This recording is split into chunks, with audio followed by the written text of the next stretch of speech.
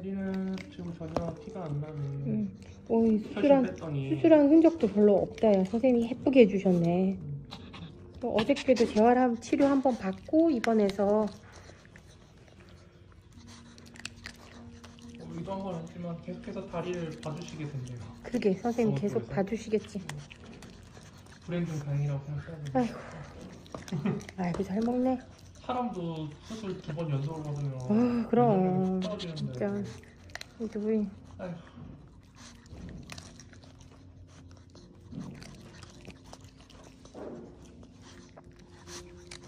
배가 엄청 고팠지. 그러니까 몰랐던 게 금식을 하면 강아지는 다음날 금식을 할 수술을 할 때 그 전날 밤 9시부터만 금식을 하면 되네. 그럼 사실 어젯밤에 한번 얘를 먹여서도 되는데 그지? 근데 아 그때 상황을 몰랐던 건데. 맞아.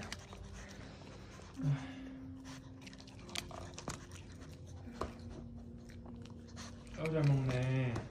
배 너무 고팠어. 선생님이 밤에 사료 줬는데 네가 안 먹었다며. 선생님 밤에 오이도 주셨대. 엄마 맡기고 한 거. 이쯤 되면 다음 날쯤에 올 거라고 생각하지 않았을까요? 못 살아.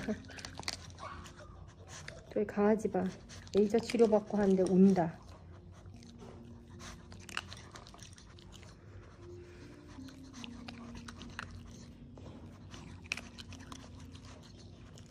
우리 두부 막 까불고 하는 거 보면 10살 강아지처럼 안 보이는데 음.